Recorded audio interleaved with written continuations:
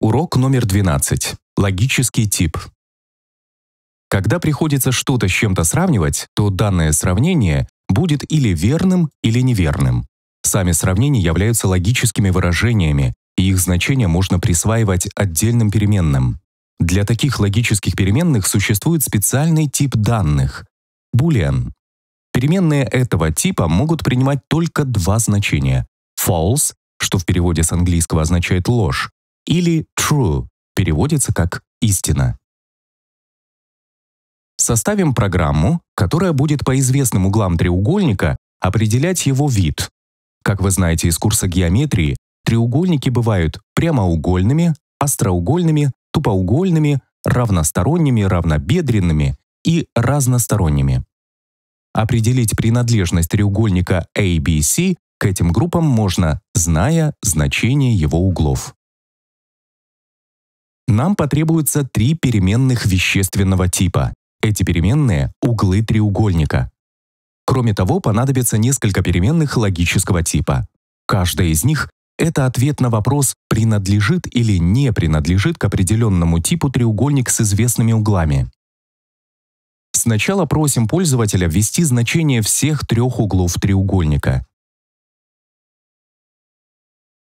Переменная triangle отвечает на вопрос, имеем ли мы дело с треугольником в принципе, то есть равна ли сумма его углов 180 градусам. Другая логическая переменная говорит нам, является ли данный треугольник равносторонним. У таких фигур, как вы знаете, все углы равны 60 градусам. Третья переменная выясняет, есть ли у треугольника хотя бы одна пара равных углов.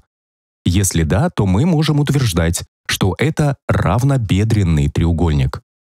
Если хотя бы один угол равен 90 градусов, то вне сомнения перед нами прямоугольный треугольник. Признаком остроугольного треугольника является тот факт, что все его углы меньше 90 градусов. И, наконец, если хотя бы один из углов больше 90 градусов, то это говорит о том, что перед нами тупоугольный треугольник. Ах да, чуть не забыл. Определим, является ли данный треугольник разносторонним.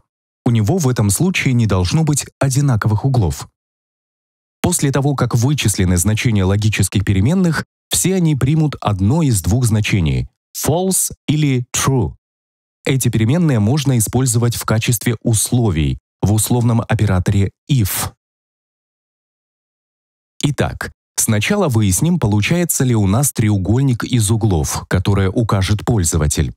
Если сумма углов не будет равна 180 градусам, то переменная triangle примет значение false, то есть ложь. Применив к этому значению отрицание, мы получим значение true, и тогда будет выполнена основная ветка условного оператора. Если сумма введенных углов будет равна 180 градусам, то значение переменной triangle будет равно true, значение not triangle будет равно false, а значит будут выполняться те операторы, которые находятся в ответвлении else. Здесь мы и продолжим выяснять, к какому типу или типам относится треугольник. После такого нехитрого ряда нескольких неполных условных операторов мы выводим или не выводим названия соответствующих групп треугольников. В случае, если какая-то из логических переменных равна значению false, соответствующее название просто не выводится. Давайте проверим. Введем нулевые углы. В этом случае выражение not triangle примет значение истина и будет напечатано, что треугольника с такими углами не бывает. Введем разные углы которые в сумме дают 180 градусов. Выражение not triangle примет значение ложь, и тогда будут выполнены команды из ответвления else. Введем все углы, равные 60 градусам. Приложение работает как часы. Алгоритмическим изъяном нашего решения является лишняя работа в программе. Если, к примеру, выяснится, что некий треугольник является прямоугольным, то зачем еще в дальнейшем проверять, является ли он остроугольным и тупоугольным?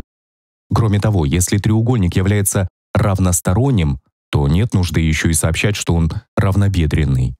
Любой равносторонний треугольник является равнобедренным. Давайте с помощью некоторой вложенности условных операторов сделаем программу более умной. Перепишем немного по-иному вот эту часть. Если треугольник прямоугольный, то так и выведем на экран. Если же нет, то в этом случае проверим, не остроугольный ли он. Если треугольник к тому же и не остроугольный, то проверяем, является ли он тупоугольным. По поводу сравнения сторон поступим аналогично. Сначала узнаем, является ли треугольник равносторонним. Если нет, то тогда уточним, является ли он хотя бы равнобедренным. Если нет, то проверяем, является ли он разносторонним. Запускаем снова. Итак, начнем с прямоугольного треугольника.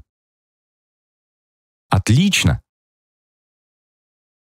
Теперь давайте подберем такой случай, когда треугольник равнобедренный и тупоугольный. Превосходно! Теперь возьмем случай, когда треугольник равнобедренный и остроугольный. Замечательно! Напоследок немного исторической информации о том, почему тип данных Boolean так называется. Заложил основы математической логики английский ученый Джордж Буль, живший в первой половине XIX века. При жизни научные заслуги математика признавали, но его труды считали чересчур далекими от практики. В то время никто не видел хоть какого-то применения в реальной жизни. Лишь столетия спустя при создании первых компьютеров выяснилось, что без булевой алгебры совершенно немыслима информатика. Целых четыре урока мы посвятили изучению оператора if, но он того стоит. Логический оператор является важнейшей структурой в программировании. Без него невозможно составить сколь серьезные алгоритмы. Однако уже пора переходить и к другой очень важной разновидности управляющих структур – циклам.